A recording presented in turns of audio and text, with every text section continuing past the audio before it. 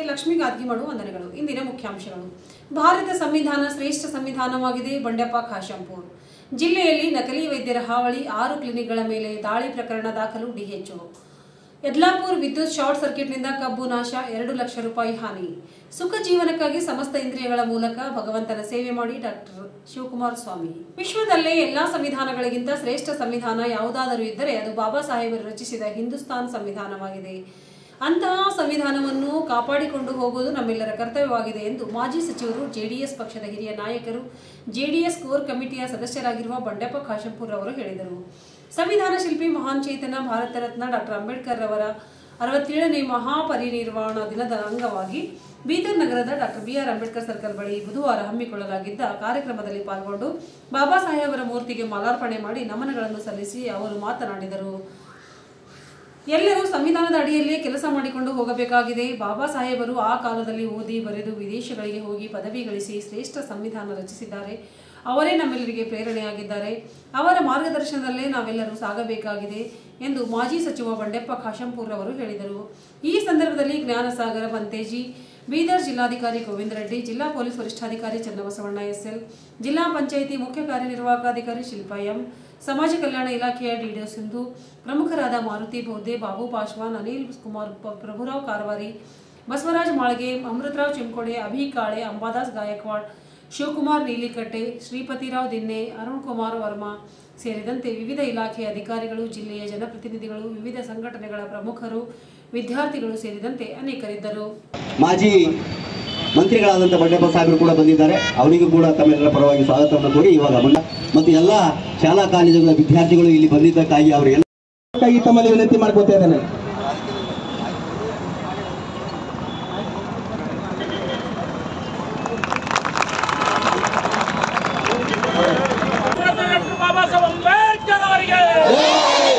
ಅಂಗವಾಗಿ ಶಾಸನ ಪಕ್ಷದ ಉಪನಾಯಕರು ಮಾಜಿ ಕೃಷಿ ಮಂತ್ರಿಗಳು ಬಂಡಪ್ಪ ಕಾಶಂಪುರ ಅವರು ಕುಂತಿದ್ದಾರೆ ಮೇಲೆ ಬಾಬಾ ಸಾಹೇಬ್ ಅಂಬೇಡ್ಕರ್ ಪ್ರತಿಮೆ ಹಚ್ಚಿದ್ದಾರೆ ಮಾಲಾರ್ಪಣೆ ಮಾಡ್ತಿದ್ದಾರೆ.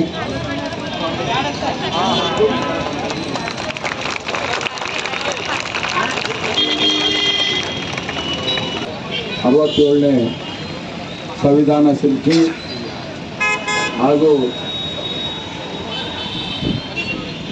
ಭಾರತ ರತ್ನ ಡಾಕ್ಟರ್ ಬಾಬಾ ಸಾಹೇಬ್ ಅಂಬೇಡ್ಕರ್ ಅವರ ಮಹಾಪರಿವಾರಣ ದಿನ. ಇವತ್ತು ತಮ್ಗೆ ಗೊತ್ತಿದೆ. ನಾವು ನೀವೆಲ್ಲ ಇವತ್ತ ಇಡೀ ವಿಶ್ವದಲ್ಲಿ ಎಲ್ಲದಕ್ಕಿಂತ ಶ್ರೇಷ್ಠ ಸಂವಿಧಾನ ಇವತ್ತು ಯಾವ್ದಾರ ಇದ್ದರೆ ಅದು ಬಾಬಾ ಸಾಹೇಬ್ರದ್ದು, ಅದು ನಮ್ಮ ಹಿಂದೂಸ್ತಾನ್ ಸಂವಿಧಾನ. ಅಂತ ಒಂದು ಸಂವಿಧಾನ ಕಾಪಾಡೋದು, ಮಟ್ಟದು ಎಲ್ಲ ನಮ್ಮ ನಿಮ್ಮ ಕರ್ತವ್ಯ ಇದೆ.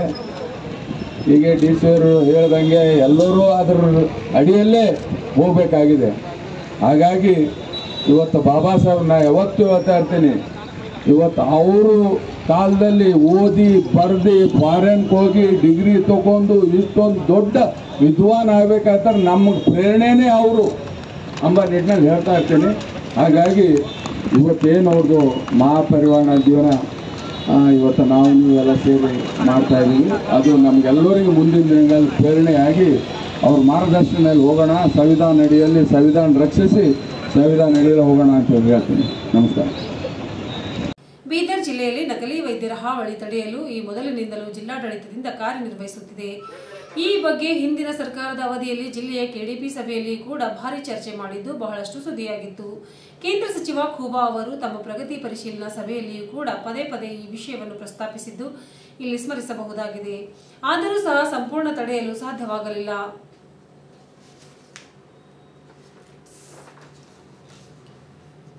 ಗ್ರಾಮೀಣ ಪ್ರದೇಶದಲ್ಲಿ ಆರ್ಎಂಪಿ ವೈದ್ಯರು ಕ್ಲಿನಿಕ್ ನಡೆಸುತ್ತಿದ್ದು, ಇದರಿಂದ ಜನರ ಪ್ರಾಣಹಾನಿಯಾಗುತ್ತಿದೆ ಎನ್ನುವ ವಿಷಯ ಚರ್ಚೆಯಾಗಿತ್ತು. ಇದೀಗ ರಾಜ್ಯದಲ್ಲಿ ಕಾಂಗ್ರೆಸ್ ಸರ್ಕಾರ ಬಂದ ಮೇಲೆ ಜಿಲ್ಲಾ ಆರೋಗ್ಯ, ಕುಟುಂಬ ಕಲ್ಯಾಣ ಅಧಿಕಾರಿ ಬದಲಾವಣೆಯಾದ ಬಳಿಕ ನಕಲಿ ಕ್ಲಿನಿಕ್ಗಳ ಮೇಲೆ ದಾಳಿ ಮೊದ ಮಾಡಲಾಗಿದೆ. ಕಮಲ್ ನಗರ್ ತಾಲೂಕಿನ ವೈದ್ಯಾಧಿಕಾರಿಗಳಿಂದ ನಗಲ್, ನಕಲಿ ಕ್ಲಿನಿಕ್ಗಳ ಮೇಲೆ ದಾಳಿ ನಡೆಸಿದರು. ತಾಲೂಕಿನ ಆರೋಗ್ಯ ಅಧಿಕಾರಿಗಳು ಡಾಕ್ಟರ್ ಗಾಯತ್ರಿ ಅವರ ತಂಡ ಆರು ಕ್ಲಿನಿಕ್ಗಳ ಮೇಲೆ ದಾಳಿ ನಡೆಸಿದರು. ದಾಳಿಗೊಳಗಾದ ನಕಲಿ ಕ್ಲಿನಿಕ್ಗಳಾದ doctor Bihari clinic, Lakshmi clinic ಸೇರಿದಂತೆ ಒಟ್ಟು ಆರು ಕ್ಲಿನಿಕ್ಗಳ ಮೇಲೆ ದಾಳಿ ಮಾಡಿ ಲಕ್ಷಾಂತರ ರೂಪಾಯಿ ಬೆಲೆಯುಳ್ಳ ಔಷಧ ವಶಪಡಿಸಿಕೊಂಡರು. ಜಿಲ್ಲಾಧಿಕಾರಿಗಳ ನೇತೃತ್ವದಲ್ಲಿ ನಡೆದ ದಾಳಿ ಮಾಡಿದರು ಕ್ಲಿನಿಕ್ಗಳಿಗೆ ಯಾವುದೇ ಪರವಾನಿಗೆ ಇಲ್ಲದ ಕ್ಲಿನಿಕ್ಗಳಿಗೆ ಬೀಗ ಜಡಿದರು. ಕಮಲ್ ನಗರ್ ಗ್ರಾಮೀಣ ಭಾಗದಲ್ಲಿ ಎರಡು ಕ್ಲಿನಿಕ್ ಹಾಗೂ ಪಟ್ಟಣದಲ್ಲಿ ನಾಲ್ಕು ಕ್ಲಿನಿಕ್ಗೆ ಬೀಗ ಹಾಕಿದರು. ನಕಲಿ ವೈದ್ಯರ ಮೇಲೆ ಪ್ರಕರಣ ಜಿಲ್ಲಾ ಆರೋಗ್ಯಾಧಿಕಾರಿಗಳು ಪ್ರಕರಣ ದಾಖಲಿಸಿದರು. ಸಾರ್ವಜನಿಕರು ನಕಲಿ ವೈದ್ಯರ ಹತ್ತಿರ ಚಿಕಿತ್ಸೆ ಪಡೆಯದೆ ನೋಂದಾಯಿತ ವೈದ್ಯರ ಬಳಿ ಚಿಕಿತ್ಸೆ ಪಡೆಯಬೇಕು ಎಂದು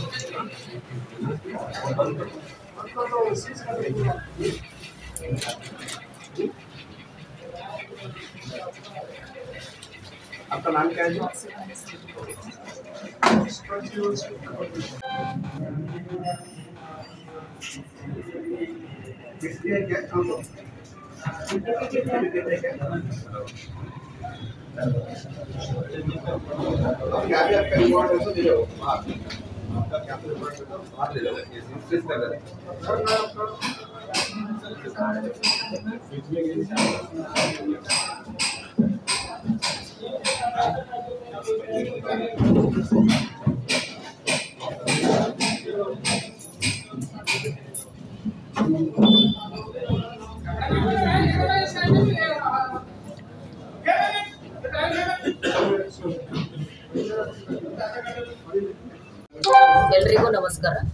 ಇವತ್ತು ತಾಲೂಕಾ ಕಮಲ್ನಗರ್ ಏರಿಯಾನಲ್ಲಿ ತಾಲೂಕಾ ಆರೋಗ್ಯ ಅಧಿಕಾರಿಗಳ ಕಚೇರಿ ಔರಾದಾಬ ಮತ್ತು ಡಿಸ್ಟ್ರಿಕ್ಟ್ ಜಿಲ್ಲಾ ಆರೋಗ್ಯ ಕುಟುಂಬ ಕಲ್ಯಾಣ ಅಧಿಕಾರಿಗಳ ನೇತೃತ್ವದಲ್ಲಿ ಇವತ್ತು ನಕಲಿ ನಕಲಿ ವೈದ್ಯರ ಹಾವಳಿದು ರೇಟ್ ನಡೀತಾ ಇದೆ.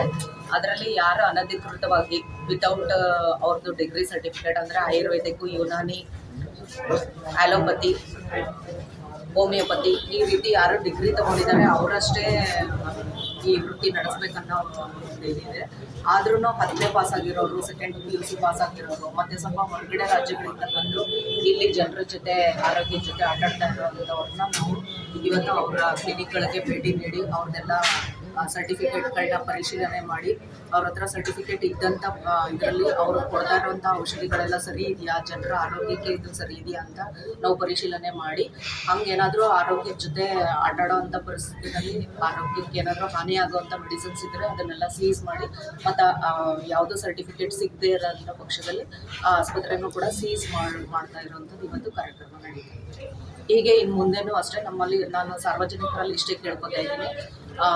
ಏನು ನಮ್ಮ ಸರ್ಕಾರದ ಗೈಡ್ಲೈನ್ಸ್ ಪ್ರಕಾರ ಕೆಲವು ಮೆಡಿಸಿನ್ನ ಸರ್ಕಾರ ವತಿಯಿಂದ ಕೊಡ್ತಾ ಇದ್ದಾರೆ ಆ ಮೆಡಿಸಿನ್ನ ಮಾತ್ರನೇ ಜನರು ಸೇವಿಸಬೇಕಾಗ್ತದೆ ಕೆಲವು ಸಲ ಏನಾಗುತ್ತೆ ಈ ಫಾರ್ಮಾ ಕಂಪನಿಗಳು ಆದಷ್ಟು ಜಲ್ದಿ ನಾವು ಆರೋಗ್ಯನ ನಾವು ಹುಟ್ಟಿಸ್ತೀವಿ ಅಂತ ನಾವು ಮೂರು ದಿನ ಕೊಡುವಂಥ ಮೆಡಿಸಿನ್ ನಾವು ಒಂದೇ ದಿನದಲ್ಲಿ ಕೊಟ್ಟು ನಾವು ಬಳಕೆ ಮಾಡ್ತೀವಿ ಅಂದ್ರೆ ಡೋಸೇಜ್ ಜಾಸ್ತಿ ಇರುತ್ತೆ. ಕೆಲವೊಂದ್ಸಲ ಅದ್ರದ್ದು ಪವರು ಆರೋಗ್ಯದ ಮೇಲೂ ಭಾಳ ಪರಿಣಾಮ ಬೀರುವಂಥದ್ದು ಇದು ನಾವೆಲ್ಲ ನೋಡ್ತಾ ಇದ್ದೀವಿ. ಹಾರ್ಟ್ ಅಟ್ಯಾಕ್ಸ್ ಜಾಸ್ತಿ ಆಗ್ತಿದೆ ಕಿಡ್ನಿ ಪ್ರಾಬ್ಲಮ್ಸ್ ಜಾಸ್ತಿ ಆಗ್ತಿದೆ, ಬೇರೆ ಕಾಯಿಲೆಗಳೆಲ್ಲ. ನಮಗೆ ರೋಗ ಸಾಯಿಸದೇ ಇದ್ರೂ ನಾವು ಸೇವಿಸುವಂಥ ಜಾಸ್ತಿ ಪವರ್ ಮೆಡಿಸಿನ್ಸ್ ಏನಿದೆ ಅದನ್ನೇ ನಾವು ಅದು ನಮ್ಮನ್ನ ಸಾಯಿಸ್ಬಿಡುತ್ತೆ. ಸೊ ಇದ್ರ ಬಗ್ಗೆ ಸಾರ್ವಜನಿಕರಲ್ಲಿ ನಾನು ಮನವಿ ಮಾಡ್ಕೋತೀನಿ. ದಯವಿಟ್ಟು ರಿಜಿಸ್ಟರ್ಡ್ ಡಾಕ್ಟರ್ಸ್ ಯಾರಿದ್ದಾರೆ, ಅವ್ರ ಹತ್ರನೇ ತಾವು ಹೋಗಿ ಪರಿಶೀಲನೆ ಮಾಡಿಕೊಂಡು ಅವ್ರು ಕೊಡುವಂಥ ಮೆಡಿಸಿನ್ಸ್ನೇ ತಾವು ತಾವು ತಗೋಬೇಕು. ಈ ರೀತಿ ಕ್ವಾಕ್ಸು ಅಥವಾ ಸುಮ್ಮನೆ ಹತ್ತನೇ ಪಾಸಾಗಿ ಪ್ರಾಕ್ಟೀಸ್ ಮಾಡೋವಂಥವ್ರ ಹತ್ರ ಎಲ್ಲ ಹೋಗಿ ನಿಮ್ಮ ಆರೋಗ್ಯನ ನೀವು ಕೆಡಿಸ್ಕೋಬೇಡಿ ಅಂತ ನಾನು ಮನವಿ ಮಾಡ್ಕೊತಾ ಬೀದರ್ ತಾಲೂಕಿನ ಯದ್ಲಾಪುರ ಗ್ರಾಮದ ರೈತ ಚಂದ್ರಕಾಂತ್ ಶಿವರಾಜ್ ಇವರ ಭೂಮಿ ಸರ್ವೆ ನಂಬರ್ ಒನ್ನೂರ ಐವತ್ನಾಲ್ಕು ಬಾರ್ ಮೂರು ಭೂಮಿಯಲ್ಲಿ ಬೆಳೆದಿರುವ ಕಬ್ಬು ಬೆಳೆಯನ್ನು ಡಿಸೆಂಬರ್ ನಾಲ್ಕರಂದು ಮಧ್ಯಾಹ್ನ ಒಂದು ಗಂಟೆಗೆ ವಿದ್ಯುತ್ ಶಾರ್ಟ್ ಸರ್ಕ್ಯೂಟ್ನಿಂದ ಎರಡು ಎಕರೆ ಬೆಳೆದಿರುವ ಬೆಳೆಯನ್ನು ಸಂಪೂರ್ಣ ಸುಟ್ಟ ಘಟನೆ ನಡೆದಿದೆ. ಎರಡು ಮೂರು ಲಕ್ಷದವರೆಗೆ ಹಾನಿಯುಂಟಾಗಿರುತ್ತದೆ ಎಂದು ಬೀದರ್ ನಗರದ ಗ್ರಾಮೀಣ ಪೊಲೀಸ್ ಠಾಣೆಯಲ್ಲಿ ನೀಡಿದ ದೂರಿನಲ್ಲಿ ಯದ್ಲಾಪುರ ರೈತ ಶ್ರೀ ಚಂದ್ರಕಾಂತ್ ಶಿವರಾಜ್ ಅವರು ತಿಳಿಸಿದ್ದಾರೆ. ಕಡು ಬಡವ ರೈತನಾಗಿದ್ದು ಕೂಡಲೇ ಅಗತ್ಯ ಪರಿಹಾರ ನೀಡಬೇಕೆಂದು ಅವರು ಸರ್ಕಾರಕ್ಕೆ ಒತ್ತಾಯಿಸಿದ್ದಾರೆ.